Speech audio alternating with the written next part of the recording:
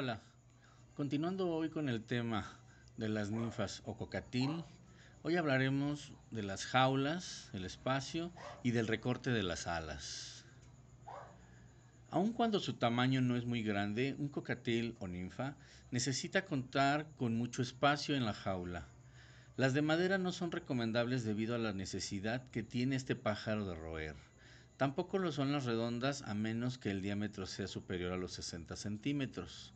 Hoy en día las jaulas se construyen dotadas de comederos y bebederos accesibles desde el exterior. Esta es una disposición muy conveniente, ya que hace posible evitar el alboroto que inevitablemente se provoca en el cambio de la comida y del agua. Una ninfa necesita un espacio en el que pueda volar y ejercitarse. Las jaulas cuadradas o rectangulares son las mejores ya que le permiten aletear durante su ejercicio, sin que por ello corra el riesgo de golpear los laterales.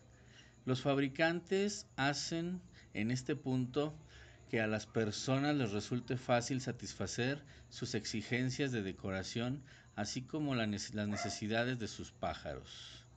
Dos cocatiles o ninfas instalados juntos necesitan más del doble del espacio que uno que se aloja individualmente.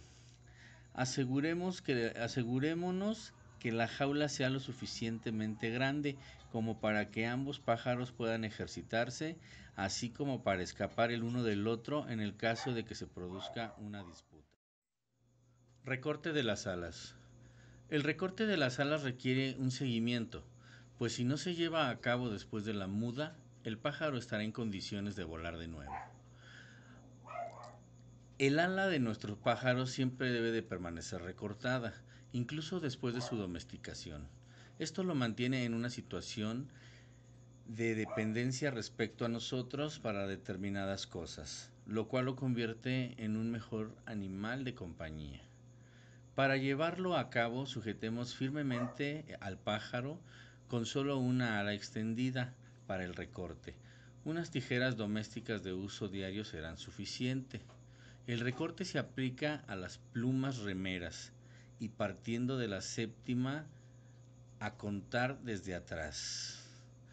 Procediendo de este modo permitimos al pájaro que actúe su caída cuando intente volar, pero que gane altura.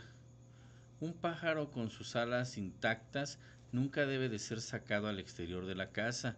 Incluso el más domesticado de ellos puede huir volando como consecuencia de la excitación y del miedo.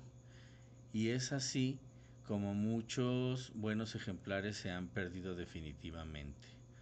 El recorte de las plumas de las alas no les va a producir dolor.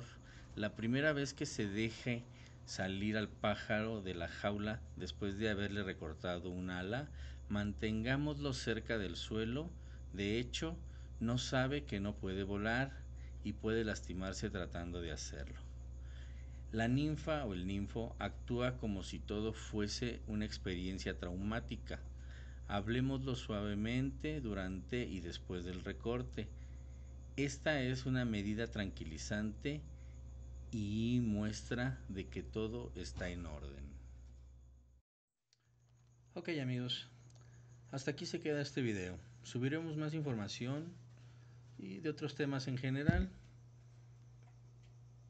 Si te gustó el video, suscríbete al canal y compártelo. Nos vemos. Hasta la próxima.